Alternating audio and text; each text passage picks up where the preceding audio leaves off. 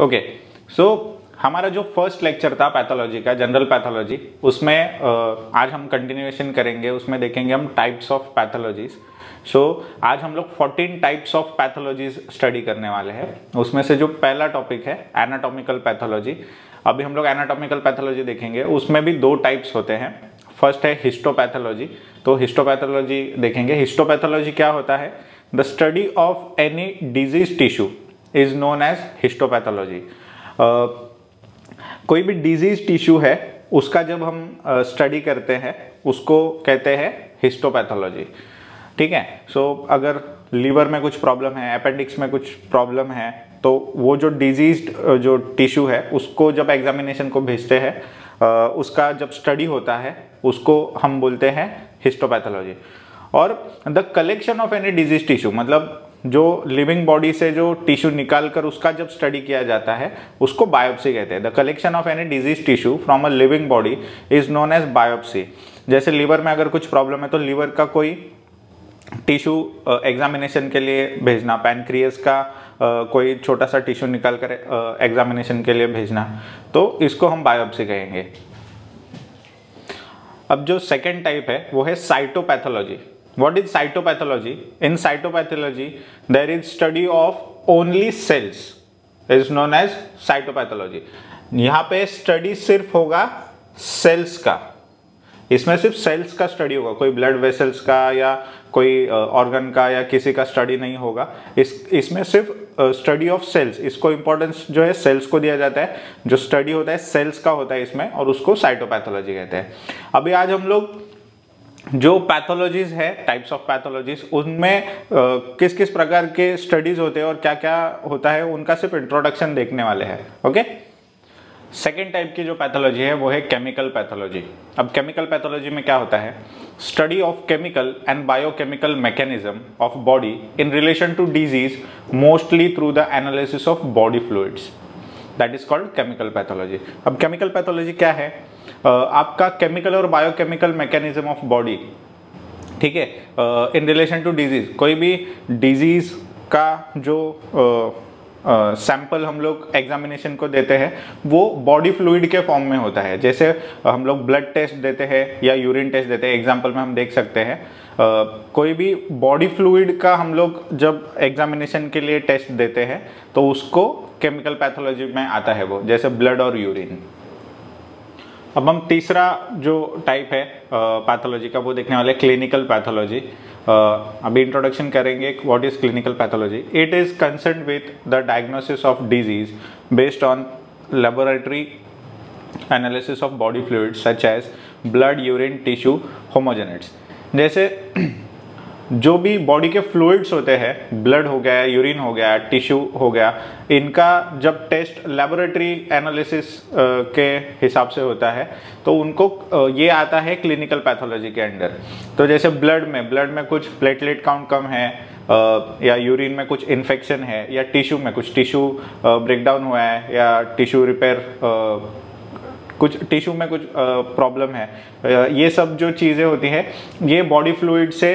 लेकर लेबोरेटरी में चेक की जाती है और लेबोरेटरी के एनालिसिस के हिसाब से जो टेस्ट आती है, उनको क्लिनिकल पैथोलॉजी के अंडर हम लोग सेग्रीगेट करते हैं।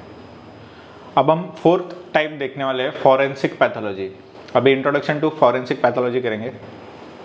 It deals with the investigation of non natural और सस्पिशियस डेथ बहुत ही सिंपल है। किसी पर्सन की नॉन नेचुरल डेथ होती है या सस्पिशियस डेथ होती है जिसपे इन्वेस्टिगेशन करनी हो कि क्या कॉज था डेथ का या किस प्रकार से इसकी डेथ हुई हो तो वो रिज़ल्ट जानने के लिए हम उसको फॉरेंसिक पैथोलॉजी में लेके जाते हैं। फॉरेंसिक रिपोर्ट की ज़रूरत पड़ती है। ठीक है? तो जो रिपोर्ट्स रहते हैं वाउंड्स डिफेंसिव मार्क्स या इंजरीज के आधार पे फॉरेंसिक रिपोर्ट जो है, बन के आती है। एंड देन पता चलता है कि डेथ का रीज़न क्या है या कॉज क्या है। अब हम फिफ्थ टॉपिक देखेंगे जेनेटिक्स जेनेटिक्स में थ्री सब टॉपिक्स आते हैं। फ़र्स्ट आता है साइटोजेनेटिक्स दूसरा है मॉलिकुलर जेनेटिक्स और तीसरा है बायोकेमिकल जेनेटिक्स बेसिकली ये तीनों जो टॉप सब टॉपिक्स हैं ये जीन्स जेनेटिक्स के बारे में ही रिलेटेड uh, है और काफ़ी हद तक सेम है ठीक है? सो साइटोजेनेटिक्स क्या होता है? Microscopic analysis of chromosomal disorders जैसे uh, कुछ डेफिशिएंसी हो या कुछ क्रोमोजोमल डिसऑर्डर हो बेबी को और उसके बाद बहुत से बेबीज रिज़ल्ट करते हैं बर्थ के बाद उनको डाउन सिंड्रोम या ऑटिज्म, उनको स्पेशल चाइल्ड भी कहा जाता है, जैसे उनको लर्निंग डिसेबिलिटी हो जाती है, बात करना बहुत लेट बात नहीं कर पाते फंबल हो जाते हैं फंबल करने लगते हैं, या उनको बहुत सारी चीज़ें समझ में नहीं आती है, मोटर मैकेनिक जो होता है उनका उनका कुछ ग्रैब करने की जो क्षमता होती है, कुछ एम करने की क्षमता होती है। जैसे अभी फॉर एग्जांपल ये मार्कर है, हम लोग, यहाँ पे हमने मार्कर रख दिया है। हमें अभी ये मार्कर लेना है तो बराबर हम ये मार्कर को ऐसे उठाएँगे। और बहुत से बच्चे होते हैं, उनको कोई चीज़ लेनी होती है बट वो चीज़ तक पहुँच नहीं पाते। ठीक है? तो उनको ऐसे डेफिशिएंसी हो जाती है। तो उसमें से एक डाउन सिंड्रोम नाम की एक डेफिशिएंसी ऑटिज्म की डेफिशिएंसी ऐसे बहुत सारे जो डेफिशिएंसी है, ये साइटोजेनेटिक्स के अंडर आते हैं क्रोमोजोमल डिसऑर्डर्स के अंडर आते हैं।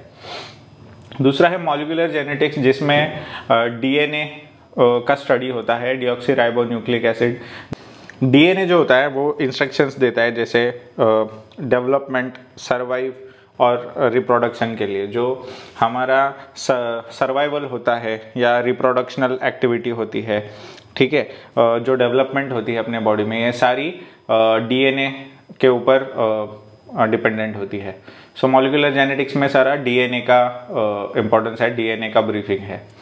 और थर्ड जो है वह है biochemical genetics bio biochemical genetics में इनबॉर्न एरर्स जो होते हैं एंजाइमेटिक डेफिशिएंसी जिसको हम लोग बोल सकते हैं जब बच्चा पेट में होता है तभी उसमें इनबॉर्न एरर्स एंजामेटिक डेफिशिएंसी के रीज़न की वजह से डेवलप होने लगते हैं।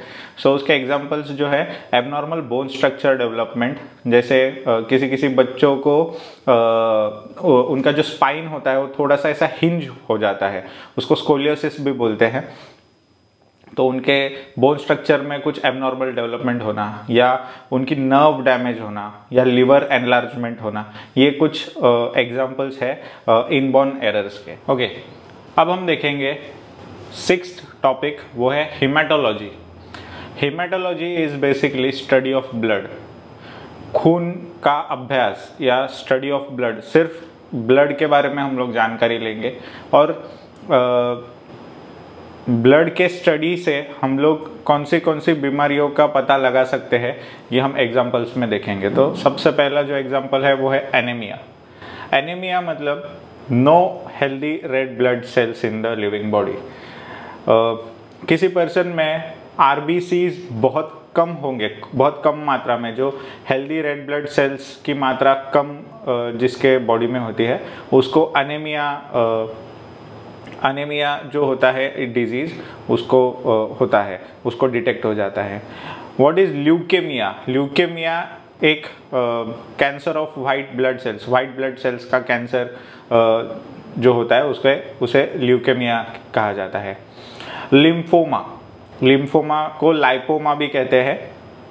वो painless swelling lymph nodes now painless swelling lymph nodes मतलब क्या होता है? Uh, बहुत से लोगों को देखा होगा उनके हाथों पे ऐसे गांठ जैसा ट्यूमर जैसा आ जाता है बट उनको पेन नहीं होता। उनको बहुत से लोग चर्बी का गांठ भी बोलते हैं हिंदी में। चर्बी का ऐसा ट्यूमर आ जाता है बट उनको पेन नहीं होता। उनके बैक पे हैंड्स हैंड्स पे ऐसे लिम्फ नोड्स तैयार हो जाते हैं। तो uh, उनको लिम्फोमा के नाम से जाना जाता है। लास्ट वाला है clotting and bleeding disorders clotting and bleeding disorders मतलब खून क्लॉट होना और ज़्यादा ब्लीड होना।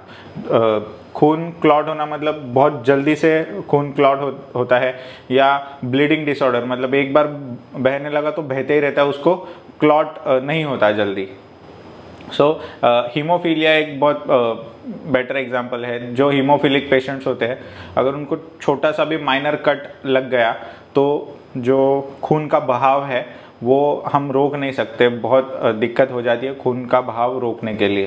सो so, उनको हीमोफिलिक पेशेंट्स कहते हैं। सेवन पॉइंट हम देखेंगे immunology basically immunology related to allergies या एलर्जी टेस्ट्स ठीक है, जो एलर्जीज होते हैं एलर्जी के टेस्ट होते हैं, वो इम्यूनोलॉजी के अंडर आते हैं। For example S L lupus test systemic lupus erythematosus ये जो टेस्ट होता है, ये इम्यूनिटी से रिलेटेड होता है। किसी की इम्यूनिटी की जाँच करनी हो तो एस एल ल्यूपस टेस्ट की जाती है।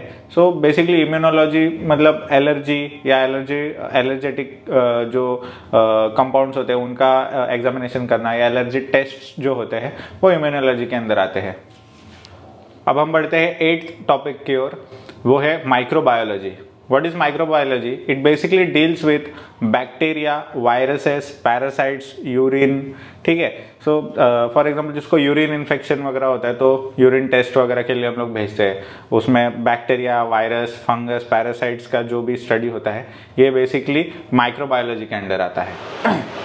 नेक्स्ट जो टॉपिक है वो है nutritional pathology basically nutritional pathology जो है uh, वो डील करता है डेफिशिएंसी और एक्सेस ऑफ़ फ़ूड के बारे में। अभी फॉर एग्ज़ाम्पल किसी एक पर्सन का डाइट बहुत कम है, उसके काम के हिसाब से बहुत कम है। एक मज़दूर है एक एग्जांपल ले लेते हैं।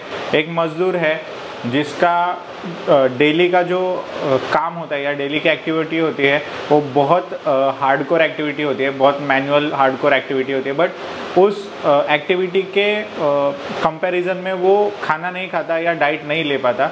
तो उसको बहुत सारी डेफिशिएंसी हो सकती है। और एट द सेम टाइम कोई दूसरा पर्सन है जो एक्सेस फ़ूड खाता है। उसकी एक्टिविटी के हिसाब से, उसके एक्टिविटी के कंपैरिजन में, वो एक्टिविटी के कंपैरिजन में ज़्यादा खाना खाता है, बहुत ज़्यादा खाना खाता है तो ओवर ओबेस्ट हो गया। तो ये जो न्यूट्रिशनल पैथोलॉजी है, ये डेफिशिएंसी और एक्सेस ऑफ़ फ़ूड दोनों में डील करती है। तो इसका एग्ज़ाम्पल अगर हम डेफिशिएंसी का देखें तो वो है स्कर्वी स्कर्वी जो है वो विटामिन सी का डेफिशिएंसी होता है, जिसमें ओल्ड वाउंड रीओपनिंग का चांस हो जाता है. पुराने घाव जो होते हैं, वो रीओपन हो जाते हैं. स्वेलिंग सूजन हो जाती है बॉडी में. आपके हेयर फॉलिकल्स जो है, वो वीक हो जाते हैं. ये डेफिशिएंसी का एग्जांपल है और एक्सेस का जो एग्जांपल है, वो हम सबको ऑलमोस्ट पता ही होता है. ओबेसिटी जो है मोटापा। ठीक है? सो ज़्यादा खाना खाने की वजह से ओबेसिटी में टर्न होता है अपना बॉडी आदमी मोटा हो जाता है। ओके नेक्स्ट टॉपिक हम देखेंगे टॉक्सिकोपैथोलॉजी के बारे में। टॉक्सिकोपैथोलॉजी क्या होता है? ये एक एथलीट टेस्ट होता है। किसी कंपटीशन uh, में आप compete करते हो या इंटरनेशनल लेवल के जो भी कॉम्पिटिशन uh, होते हैं वहाँ पे uh, बहुत से जगह पे डोपिंग टेस्ट होता है या अल्कोहल टेस्ट होता है। जैसे डोपिंग टेस्ट जो होता है उसमें देखा जाता है कि एथलीट ने कुछ non natural non natural substance तो नहीं कंज्यूम किया है। जैसे स्टीरोइड्स नहीं लिया है या कुछ एडिक्टिव सब्सटेंस तो नहीं यूज़ किया है तो उसके लिए डोपिंग टेस्ट होता है और दूसरा जो होता है अल्कोहल टेस्ट होता है।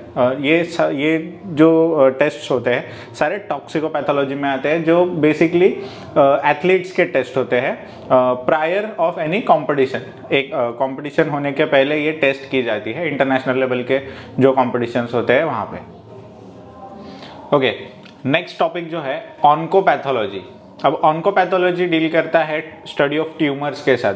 जो ट्यूमर्स होते हैं जो ट्यूमर्स को हम लोग हिंदी में गांठ के नाम से जान, जानते हैं। जो ट्यूमर का जो स्टडी होता है जो गांठ का जो स्टडी होता है उसको ऑनकोपैथोलॉजी बोलते हैं। ये गार्ड के स्टडी से या ट्यूमर के स्टडी से हमको कॉजेस ऑफ़ कैंसर पता चलते हैं कि कैंसर की वजह क्या है या कैंसर की हिस्ट्री क्या है। बहुत सारे टाइप्स के कैंसर्स होते हैं। तो कौन से टाइप का कैंसर और क्यों हुआ है, वो ऑनकोपैथोलॉजी से पता चलता है। Now last topic of this lecture is oral and maxillofacial pathology oral and maxillofacial pathology जो होता है it's speciality of dentistry deals with nature identification management of diseases affecting oral and maxillofacial regions ये जो type की pathology होती है वो oral health अपना जो माउथ के अंदर का जो स्टडी होता है उसकी मैनेजमेंट करती है और डिज़ीज़ जो अपने ओरल डिजीजेस जो होती है, उसमें डील करती करती है। तो ये जो ओरल एंड मैग्जिलोफेशियल पैथोलॉजी है, ये ओरल कैंसर्स के डायग्नोसिस में भी बहुत हेल्प करती है या उनको डायग्नोसिस करने में बहुत हेल्प करती है।